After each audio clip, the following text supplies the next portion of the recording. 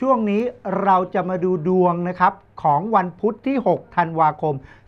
2560 กันนะครับของคนที่เกิดวันอาทิตย์ วันจันทร์วันอังคารวันพุธ วันพฤหัสวันศุกร์วันเสาร์ว่าดวงชะตาในวันพรุ่งนี้จะเป็นอย่างไรบ้างนะครับ เริ่มจากวันอาทิตย์นะครับ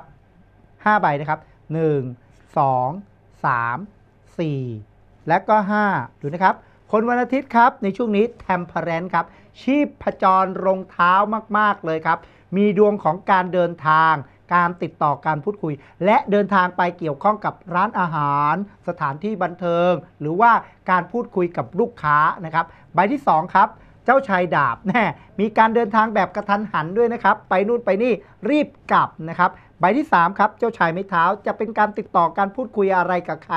ต้องมีเรื่องของอาหารของกินนะครับ จึงจะประสบความสำเร็จได้ในนัดหมายนั้นนะครับ ใบที่ 4 ครับ4ไม้เท้า แล้วก็ใบที่5 ไฮโลแฟนครับเดินทางไปไหนปลอดภัยไม่มีพยานอันตรายใดสิ้น พระสังฆราชเกี่ยวข้องกับพระสิ่งศักดิ์สิทธิ์รวมถึงการเดินทางไปวัดวาสถานที่นะครับสวยงามสิ่งศักดิ์สิทธิ์มูลนิธิ หรือการช่วยเหลือเกื้อกูลใครแต่ในช่วงนี้นะครับการเงินเข้าซ้าย ออกขวานะครับ จะติดต่อพูดคุยอะไรใคร เอาตัวรอดได้ แต่จะได้ก้อนใหญ่มา แต่ก็ต้องจ่ายออกไปก้อนใหญ่เพราะอะไรความสงสารความเมตตา เพราะฉะนั้นต้องเกี่ยวข้องกับงานบุญงานกุศลด้วยนะครับสำหรับความรักนะครับในช่วงนี้เจ้าชายดาบเทมเพ r รนมันหมายถึงว่าอารมณ์ผันผวน แปรปรวน เดี๋ยวก็สุข เดี๋ยวก็มีความคิดความทุกข์ความกังวลอะไรเล็กๆน้อยๆ ต่อกัน แต่ก็ไม่ได้ถือว่าร้ายแรง เพราะไฮโลแฟนกับเทมเพ r รนแปลความหมายถึงความรู้สึกที่แบบผ่อนคลาย กังวล มีความว้าวุ่น สลับกันไปแต่คนโสดนะครับ เดินทางหน่อยนะครับ จะพบรักกับผู้หลักผู้ใหญ่ คนอายุมากใจบุญใจกุศลนะครับอะมาดูคนวันจันทร์ครับ ในช่วงนี้เป็นอย่างไรนะครับ 1 2 3 4 แล้วก็ 5 ครับ คนวันจันทร์ครับขึ้นมาเป็น 7 เหรียญเลย 7 เหรียญแปลความหมายถึงว่าการค้าขายการติดต่ออะไรในช่วงนี้ประสบความสำเร็จได้เงินได้ทอง บางคนก็ทำบัญชีความละเอียดนะครับ บางคนมองผลผลิตที่ตัวเองสร้างมาอย่างภาคภูมิใจนะครับ ใบที่ 2 ราชินีดาบและก็ยังคงขยันอดทนนักสู้ฝ่าฟันสิ่งต่างๆ ต่อนะครับห้าไม้เท้าแปลความหมายถึงการแข่งขันในช่วงนี้มีมาก แต่คนวันจันทร์ก็สู้เขาได้ หรือว่าหยิบเงินใหญ่ได้ เพราะฉะนั้นไม่ต้องหวั่นไม่ต้องกังวลอะไรนะครับ ใบทีสี่4นะครับสิบดาบ ช่วงนี้มีโอกาสที่จะไปเกี่ยวข้องกับงานอวะมงคลเหมือนกัน แต่แปลความหมายคนวันใจ คนวันจันทร์ไปช่วยเหลือ เกื้อกูล มูลนิธิสิ่งต่างๆ หรือว่าแบ่งปัน ความรู้สึกสิ่งต่างที่เรามีความผาสุกเราไปช่วยเหลือคนนะครับใบที่ 5 ครับ 10 เหรียญโอ้โห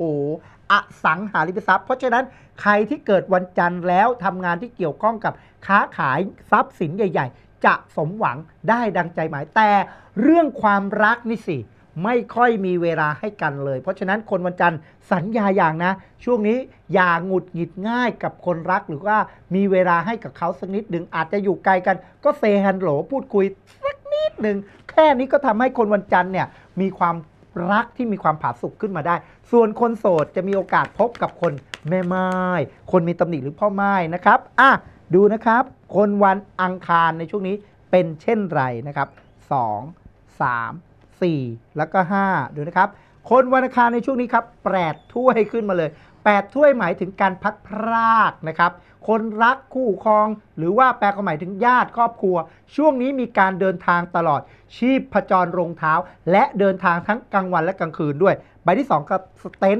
สู้อดทน เพราะฉะนั้นคนวันอังคารพยายามทำทุกอย่างให้ดีๆ มองอนาคตและก็มีความมุ่งมั่น ใบที่ 3 เจ้าชายดาบเดินทางแบบกระทันหัน สุขภาพระวังไว้สักนิดหนึ่งนะครับ8ถ้วยกับเจ้าชายดาบ ฟกช้ำดำเขียวชนนู่นชนนี่ เพราะฉะนั้นต้องไม่ประมาทเดินทางไปไหนแล้ว ห้ามที่สุดคือห้ามซุ่มซ่ามเลยนะครับใบที่ 4 ครับ โอ้แต่ดีนะ มีพระสังฆราชคุ้มครอง เพราะฉะนั้นทำให้ยังมีเรื่องของสิ่งที่ดีเข้ามา ผู้หลักผู้ใหญ่จะช่วยเหลือเกื้อกูลได้ เพราะฉะนั้นช่วงนี้นะครับ คนวันอังคารให้สวดมนต์ไหว้พระ หรือว่ามีเรื่องของการค้าขายติดต่ออะไร มองหาผู้หลักผู้ใหญ่ใจบุญ คนนั้นจะทำให้ช่วยเหลืออุดหนุนสินค้าหรือว่าอะไรต่างๆ ได้ ใบที่ 5 ครับ 10 ดาบแม่ มีโอกาสพาใครญาติผู้หลักผู้ใหญ่ หรือคนเจ็บคนป่วยไปโรงพยาบาล ไปนู่นไปนี่เพราะ10 ดาบกับ เจ้าชายดาบแปลความหมายถึงคนที่เป็นผู้ใหญ่ที่เป็นผู้หญิงนะ ช่วงนี้มีโอกาสที่คนวันอังคารอาจจะต้องไปช่วยเหลือ ญาติพี่น้องที่เป็นผู้หญิงนะครับ คุณแม่ ด้านความรักพัดพลากกัน ไม่มีเวลาให้กัน เพราะฉะนั้นต้องหาเวลาพูดคุยโทรศัพท์หรือบอกกล่าวให้ดีด้วยนะครับอะมาดูคนวันพุธครับ ช่วงนี้เป็นเช่นไร5ใบครับ 1 2 3 4 แล้วก็ 5 คนวันพุธครับ ขึ้น 8 ถ้วยอีกแล้ว เดินทางเหมือนกัน สุขภาพต้องระวังนะครับ พักผ่อนน้อย ช่วงนี้ใครบางคนอาจจะเล่นเฟซเล่นไลน์ดูหนังยันดึกไปหรือบางคนเล่นเกมติดเกมก็ได้นะครับ ใบที่ 2 ครับ ราชินีถ้วยกินเยอะทานเยอะนะครับการพัดพรากในช่วงนี้อาจจะเกี่ยวข้องกับผู้หลักผู้ใหญ่นะครับ จึงแปลความหมายว่าการเดินทางไปไหนไปเรียนต่อไปศึกษาต้องพัดพรากกับคนที่ตัวเองเคารพหรือรักนะครับ แต่ยังไงแล้วแต่เจ้าเนื้อนะ ทานเก่งมากๆ ช่วงนี้ออกกำลังกายนะครับสี่เหรียญจะติดต่อกับใครจะพูดคุยอะไรใคร พยายามที่จะแบบรอบคอบการเงินที่สุดถึงที่สุด เพราะฉะนั้นช่วงนี้คนวันพุธรู้จักค่าของการเงินมากๆนะครับหกไม้เท้าชัยชนะ การงานการติดต่อจะทำอะไรแล้วแต่ให้ใช้เวลาสักนิดหนึ่งจะได้ดีและประสบความสำเร็จใบที่ 5 ครับ 2 ถ้วยโอ้โหนะครับเดินทางนะครับสำหรับคนเจ้าชู้ต้องระวังนะสเสน่ห์แรงเหลือเกิน พัดภาคกับคนรัก แต่เดินทางไกลไปไหน ไปพบรักใหม่ได้ โอ้โห ได้ 2 ถ้วย เพราะฉะนั้นคนที่รักครอบครัวก็ต้องดูแลตัวเองนะ อย่าวอกแวกในช่วงนี้สเสน่ห์แรงนะครับอะมาดูคนเกิดวันพระฤหัสในช่วงนี้ จะเป็นเช่นไรนะครับ5ใบครับ 1 2 3 4 แล้วก็ 5 ดูนะครับ ใบแรกขึ้นมาครับ ราชินีดาบ หญิงแกร่งชายแกร่ง เพราะฉะนั้นอุตสาหะวิริยะมีความมุ่งมั่น น้ำพักน้ำแรงของตัวเองทั้งสิ้น ใบที่ 2 ครับ The Fool มีดวงเดินทางไปเที่ยวด้วยนะครับ พักผ่อนกับครอบครัวกับคนรัก รวมถึงใครที่อยากจะทำงานอะไรใหม่ ๆ ช่วงนี้แหละครับ กล้าที่จะโนเฟียกล้าที่จะท้าทายสิ่งใหม่ ๆ จะมีโอกาสนะครับ รวมถึงการเปลี่ยนแปลงเรื่องของการงาน 7 เหรียญแต่ได้เงินแน่นอนครับ จะเดินทางไปไหนแล้วแต่หาได้ครับ แต่พวกเดอะฟูเนี่ยใช้เก่งเหมือนกันนะครับ ใบทีสี่4 ครับ 2 ไม้เท้า จะทำอะไรควรที่จะมีกลุ่มมีทีม มีมากกว่า 1 คนจะทำให้สิ่งนั้นประสบความสำเร็จได้ ใบที่ 5 ครับ 2 ดาบ 7 เหรียญมีโอกาสซื้อโทรศัพท์ใหม่ หรือว่าทำอะไรที่เกี่ยวข้องกับเครื่องมือสื่อสารนะครับ ไม่ว่าจะเป็นไลฟ์สดออนไลน์ ขายของแบบบนมือถือหรือว่า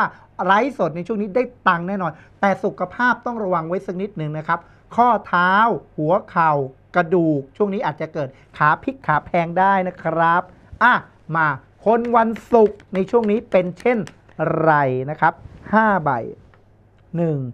2 3 4 แล้วก็ 5 ครับ คนวันศุกร์ใบแรกขึ้นมาเลย ขยันมากทำงานเยอะ ทำงานหนักนะครับช่วงนี้ต้องบอกว่าคนวันศุกร์มีเรื่องของความสุขกับการงาน หรือว่าภาระนะครับมันรออยู่ใครมีโอกาสที่เกี่ยวข้องกับวันหยุดยาวๆที่ผ่านมา ช่วงนี้ก็ต้องแบบแปลความหมายว่าไปเคลียร์งานนะครับใบที่ 2 ครับเดอะมูนกุ้มและคิดแล้วโอ้ยงานทำไมมันเยอะจังนะครับ ใบที่ 3 ครับ แต่ก็ต้องสู้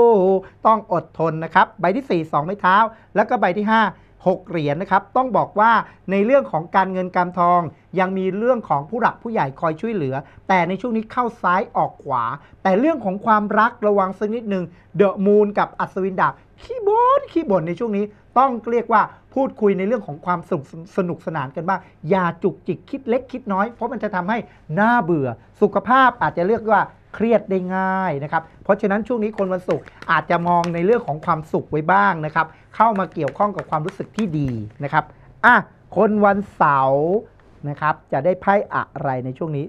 2 3 4 และก็ 5 ครับ คนวันเสาร์ครับ 8 ดาบเลย เพราะฉะนั้นในช่วงนี้ต้องระงับนี่ครับคำพูดนะครับคำเจรจามักจะจิกกัดหรือว่าแทะโรมหรือว่าสร้างปัญหาเพราะฉะนั้น เรื่องของความรักเนี่ยแหละคำพูดทำให้มีปากเสียงคิดเล็กคิดน้อยต่อกันใบที่2ครับก้าวถ้วย ความหวาดระแวงความกังวลใจนะครับเราก็หวาดระแวงเขาจะมีกิ๊กมีกั๊กไหมเขาก็ดันระหวาดระแวงเราจะมีกิ๊กมีกั๊กไหมโอ้เพราะฉะนั้นรักกันเข้าไว้ครับ อย่าระแวงกันใบที่3ครับ Tower เห็นไหมอารมณ์แห่งตนนะครับ ช่วงนี้คนวันเสาร์อยากให้ระงับอารมณ์คำพูดมา นะครับไปวัดไปวาทำบุญกับโรงศพนะครับใช้เงินเก่ง ช่วงนี้จะทำอะไรก็ควักอยู่ตลอดนะครับใบที่ 4 ครับโอ้ Magician sixth sense รางสังหรณ์นะครับ แต่ sixth sense มาบวกกับ Tower เนี่ยรางสังหรณ์บางทีก็ขี้ระแวง เพราะฉะนั้นต้องคิดบวกเขาไว้ด้วยนะ คนวันเสาร์ในช่วงนี้นะครับ ใบที่ 5 2 เหรียญใช้เก่ง